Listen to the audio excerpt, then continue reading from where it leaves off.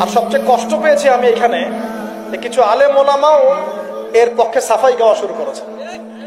আমি এই জায়গায় কষ্ট পেয়েছি। শোনেন, আজকে মজা নিচ্ছেন ট্রল করছেন, করেন।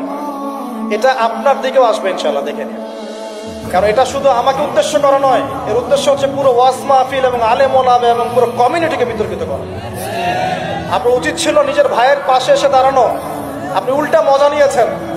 এগুলো আল্লাহর আরস পর্যন্ত পৌঁছে গেছে ইনশাল্লাহ আল্লাহ পাক অচিরেই এর ফলাফল নাজিল করবে ইনশাল্লাহ আমি তো কিছু করতে পারবো না মামলা দিয়েছি মামলার কি হবে আল্লাহ ভালো জানে উল্টা তাদের পক্ষেই মানুষ কাজ করছে আমি শুধু এতটুকু বলছি আল্লাহর কাছে হাত তুলে দোয়া করছে আল্লাহুম্মা ইন্না নাজআলুকা ফি নুহুরিহিম ওয়া নাউযু বিকা মিন শুরুরিহিম اللهم اكفنيهم بما شئت اللهم منزل الكتاب وسريع الحساب اهزم الاحزاب اللهم اهزمهم وزلزلهم এই দোয়ার অর্থ যারা বুঝবেন, জেনে নিয়েন যে আমি কি দোয়াটা করছি।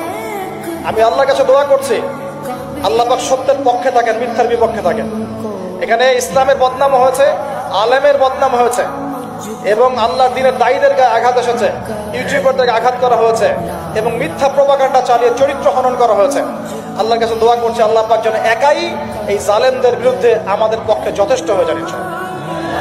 আমরা দোয়া করছি আল্লাহ পাক আল্লাহ পাক যেন এদের এবং আমাদের মাঝখানে ফয়সালাকারী হিসেবে আল্লাহ পাকি যথেষ্ট থাকেন ইনশাআল্লাহ। আল্লাহ আল্লাহ মনজিল আল কিতাব, আল্লাহ পাক কিতাব নাজিলকারী সারি আল হিসাব, দ্রুত হিসাব গ্রহণকারী, ইহসিমিল আহসাব, এই জালেমদের এই দলটাকে আল্লাহ পাক ভেঙে দিবেন ইনশাআল্লাহ। আল্লাহুম্মা জালজিলহুম, আল্লাহুম্মা হযিমহুম ওয়া জালজিলহুম।